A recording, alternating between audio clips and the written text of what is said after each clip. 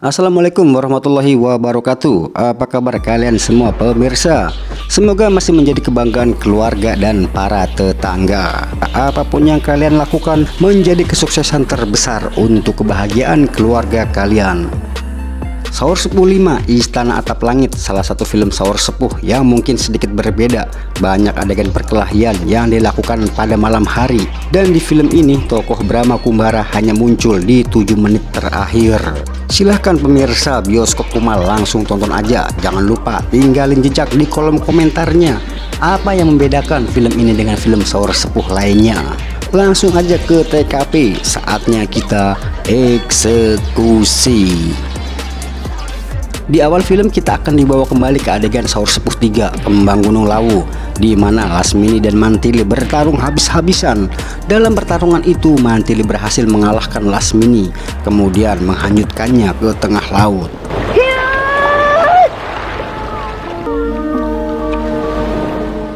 Dan film pun baru dimulai.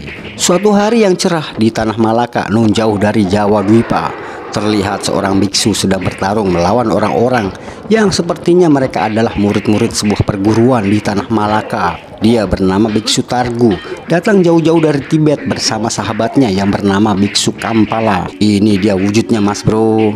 Dengan kesaktian yang dimilikinya, tentu saja mereka adalah lawan yang mudah bagi Biksu Targu.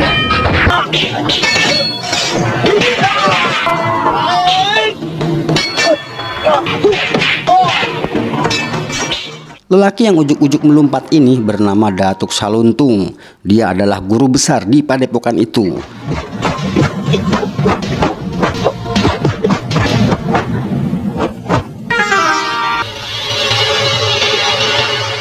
Setelah saling pamer beberapa gerakan, pertarungan pun selesai. Rupanya mereka hanya berlatih tanding untuk menjajal kemampuan silatnya. Biksu Kampala dan Biksu Targu adalah dua biksu hebat yang sengaja mengembara untuk mempelajari ilmu di setiap tempat yang mereka singgahi. Tujuan utama mereka adalah Jawa Dwipa untuk mencari orang bernama Brahma Kumbara. Mereka penasaran dengan nama besarnya yang katanya seorang raja sakti mandraguna. Datuk Saluntung meminta kepada Biksu Kampala untuk menunjukkan sedikit kehebatannya agar para muridnya sadar bahwa ilmu yang mereka miliki belum seberapa dibandingkan dengan ilmu kedua biksu itu.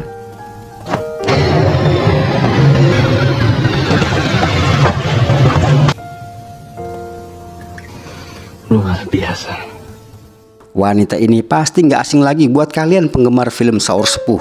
Ya, dialah Lasmini. Ternyata saat dia terombang-ambing di lautan dengan luka parah, Datuk Saluntung menolongnya, kemudian menjadikan Lasmini istrinya. Datuk Saluntung meminta kedua biksu itu agar mau tinggal dulu di padepokannya dan mengajarkan beberapa jurus kepada murid-muridnya. Tapi mereka menolak karena harus segera pergi ke Jawa Dipa. Kami hanya singgah. Tujuan utama kami adalah Jawa Dipa. Kami ingin bertemu dengan dengan seorang yang bernama Brahma Kumbara. Setelah ngobrol ngalor ngidul ngetan ngulon, akhirnya kedua biksu itu pun pamit pergi meninggalkan Malaka.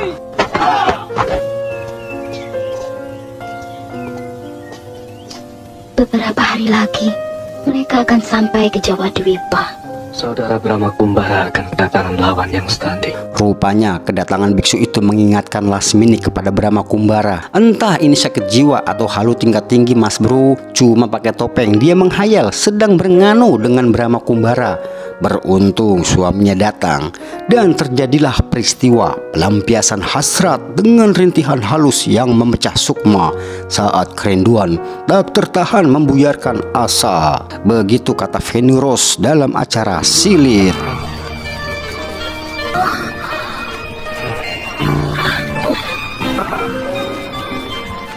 Selesai Cikiwir, Lasmini minta izin suaminya untuk kembali ke Jawa Dwipa. Melihat kehebatan Biksu Kampala dan Biksu Targu, rupanya membuat Lasmini khawatir mereka mampu mengalahkan Brahma Kumbara. Aku harus pergi, Datuk. Ilmu kedua biksu itu terlalu tinggi. Singkat cerita, Lasmini sudah tiba di Madangkara dan langsung menemui murid-muridnya di Padepokan Anggrek Jingga. Dia akan melakukan berbagai cara untuk menghambat biksu itu bertemu Brahma Kumbara, termasuk menyewa para jawara yang ada di tanah Jawa. Kalian tentu sudah lihai cara merayu para jawara. Kalian pasti bisa menamatkan kedua biksu itu. Pekerjaannya tidak ringan. Kita cari sekarang. Makin cepat makin baik. Ayo. Tak lama setelah kedua jawara itu pergi, tiba-tiba mereka dikejutkan dengan kemunculan biksu Targu.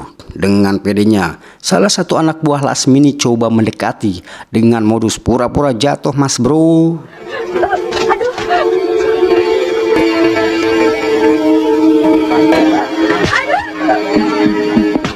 Mendapat serangan mendadak, Biksu Targu balik menyerang. Dan akhirnya salah seorang murid Lasmini pun tewas. Tak lama dua jawara sewaan tadi pun kembali dan langsung menyerang Biksu Targu.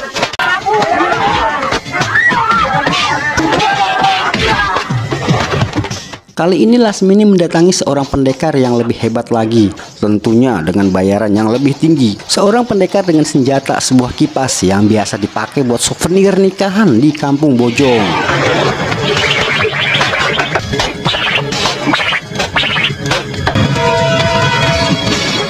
Tidak sia-sia aku mencarimu. Ilmumu semakin pesat.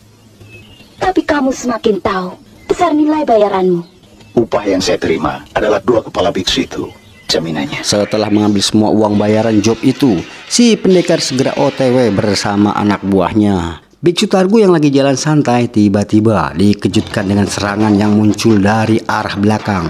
Sangat membagongkan sekali mas bro.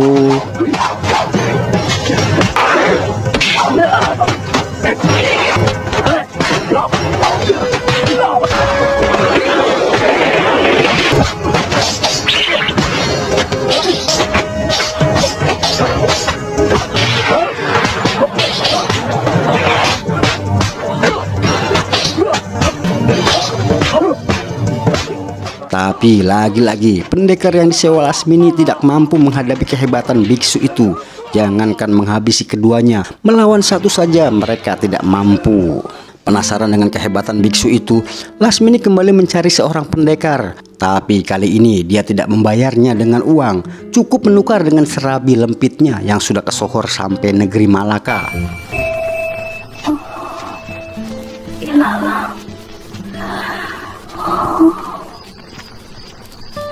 Setelah mencicipi serabi lempitnya Lasmini, dengan pedenya pendekar yang wajahnya mirip mertuanya Bang Ojak tukang ojek pengkolan kampung Rawa Bebek langsung menghadang kedua biksu dari Tibet itu.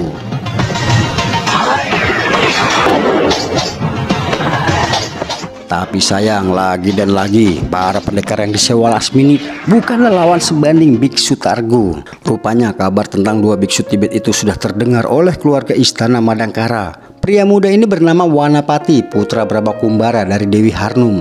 Dia adalah putra mahkota dan pewaris tahta kerajaan Madangkara. Menurutnya, masalah kedua biksu itu tidak perlu memberitahu bapaknya yang sedang memperdalam ilmu kanuraganya untuk mencapai tingkat tertinggi. Untuk menghadapi kedua biksu itu, Madangkara masih punya pendekar-pendekar hebat.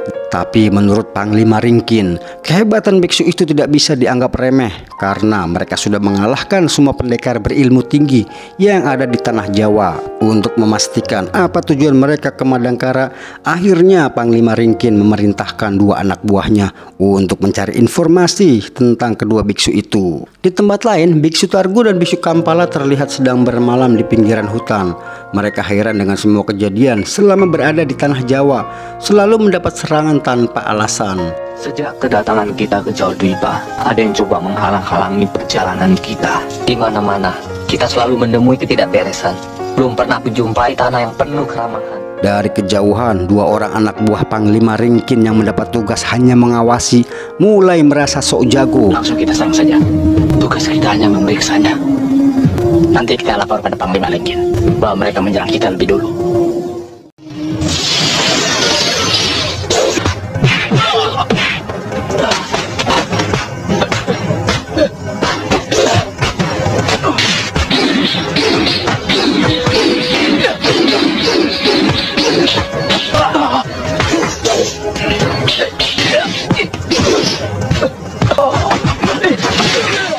Untung kedua orang itu dibiarkan pergi.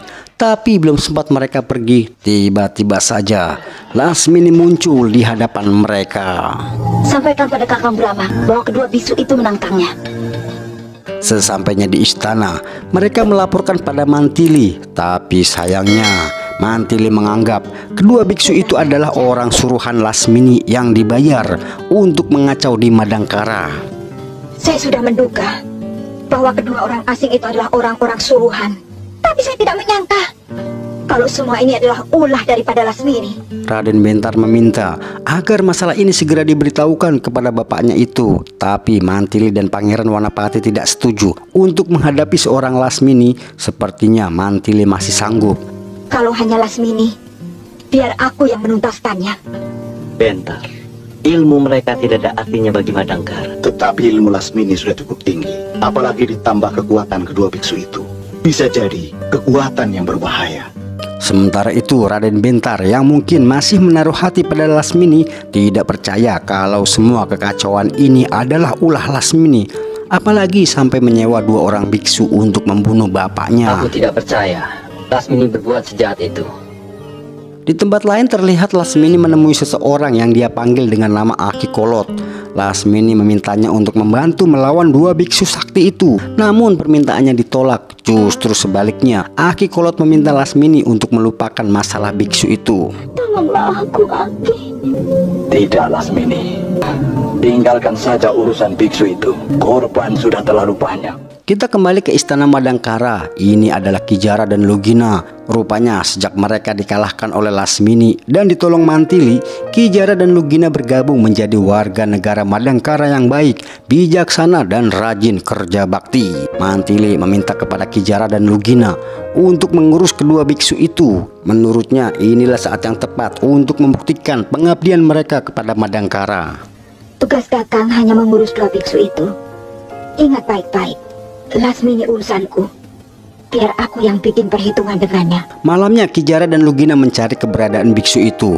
Dengan bantuan Google Map, akhirnya mereka berhasil menemukan biksu Targu dan biksu Kampala.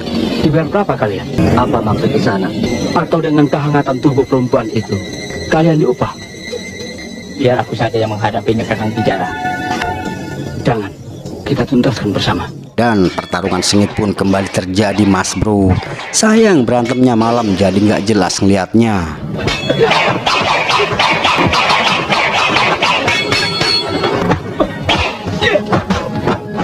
Kesaktian Kijara dan Lugina membuat Biksu Targu kewalahan dan harus menerima serangan bertubi-tubi dari dua pendekar itu.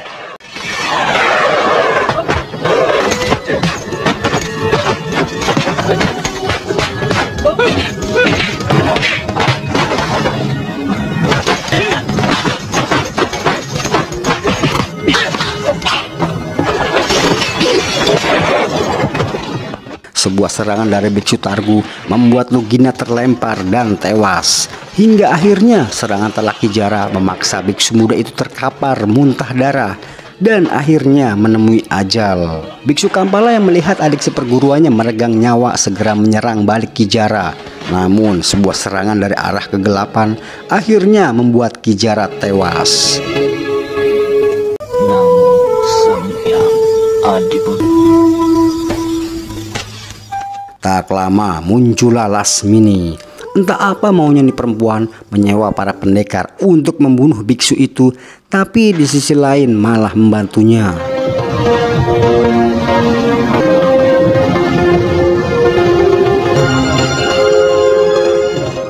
Setelah mengkremasi jasad Biksu Targu, Lasmini mulai menggoda Biksu Kampala.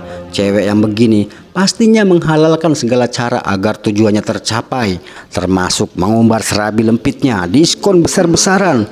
Kalau perlu cuci gudang mas Saya akan bro. tidur di luar. Udara di luar dingin sekali. Inilah aku. Tubuh yang bisa disentuh dan dicumbu. Gagal dengan penawaran murah serabi lempitnya, Lasmin menggunakan cara lain dengan meracuni Biksu Kampala. Dia berharap bisa mengalahkan Biksu itu. Minumlah.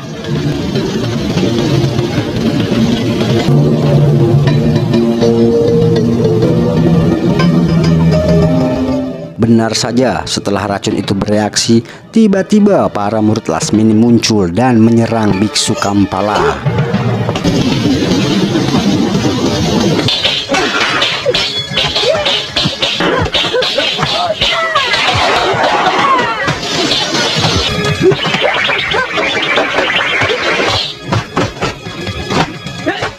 Melihat murid-muridnya dibuat terkapar, Lasmini turun tangan menyerang biksu Kampala.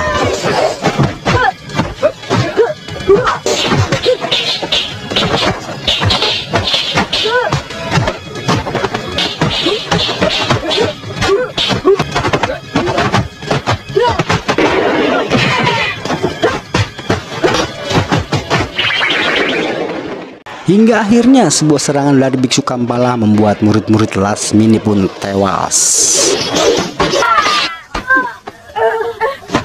Tahu tubuhnya mulai melemah karena racun itu, akhirnya biksu Kampala meninggalkan Lasmini.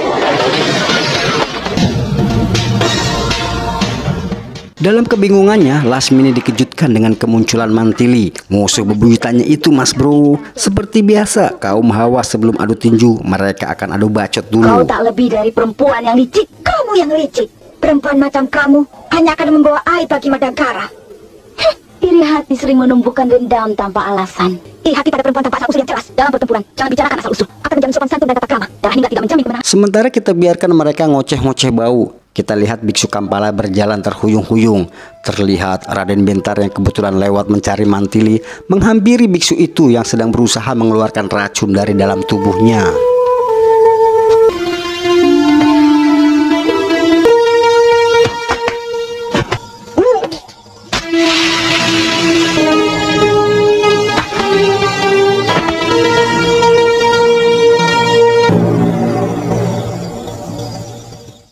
Kembali ke Mantili dan Lasmini setelah capek ngoceh. Akhirnya mereka lanjutkan dengan pertarungan.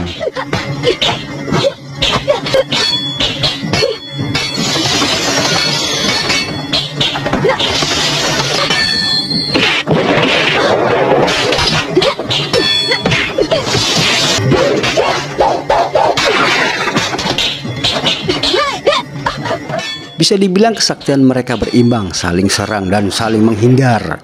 Hingga akhirnya mereka sama-sama menyerang dan membuat mereka sama-sama terlempar.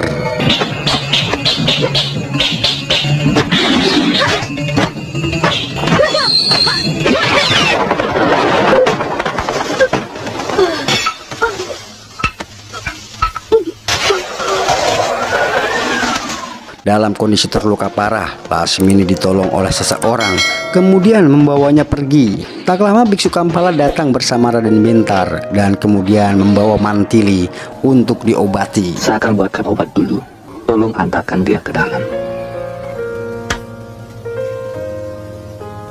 Minumlah, akan segera membaik. Kepandaian biksu sungguh luar biasa. Ajarkan padaku tentang jalan pedang. Akar ilmu adalah tidak berpihak. Setiap jurus mengungkap getaran hati. Setelah Mantili pulih, dia menemui kakaknya Brahma Kumbara yang sedang melakukan tapa.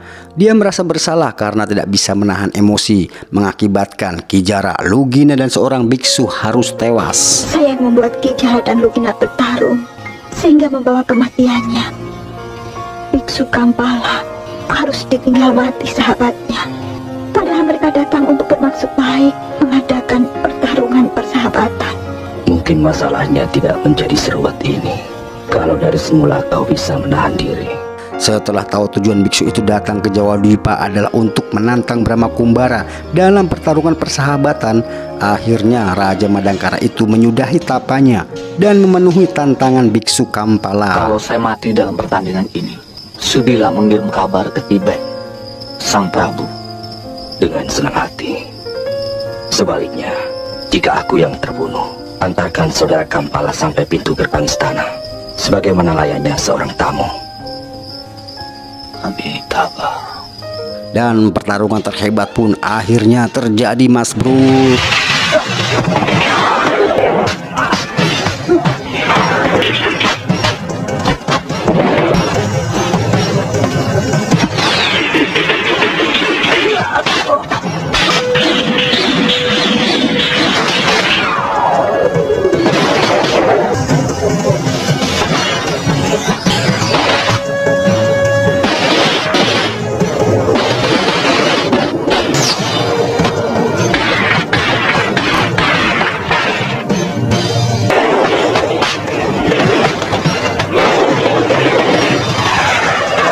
Setiap serangan yang mereka lakukan tak pernah mengenai sasaran.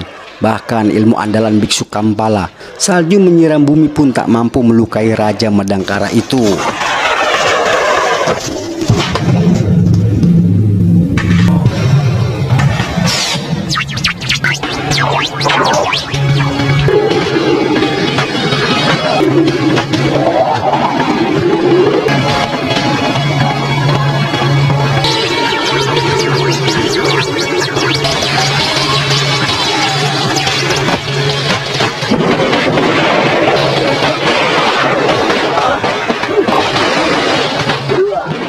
Hingga akhirnya mereka berdua terlempar dan pertarungan dua pendekar hebat itu pun harus berakhir imbang alias seri mas bro. Wanapati, aku bisa memahami perasaanmu. Kau pasti kecewa. Semoga saja semua kejadian ini memberi hikmah kepadamu. Suatu ketika, kau akan tahu apa arti kebesaran jiwa. Sesuai janjinya, biksu itu diantar langsung oleh Prabu Brahma Kumbara sampai pintu gerbang perbatasan Madangkara, sekaligus untuk melepas kepergian putranya, Raden Bentar, untuk berguru kepada biksu Kampala. Film pun selesai. Demikianlah salah satu film Saur Sepuh. Semoga menghibur. Mohon maaf jika ada kesalahan ucap. Untuk kalian penggemar Saur Sepuh, tunggu tayangan film selanjutnya. Saur Sepuh 4, Titisan Darah Biru yang pastinya nggak kalah seru. Sebelum Mimin pamit, seperti biasa jangan lupa klik tombol subrek dan gambar loncengnya. Kalau udah diklik, Mimin pamit undur diri. Jumpa lagi di acara dan channel yang sama. Terima kasih, tetap semangat dan tetap menjadi manusia luar biasa. Wassalam.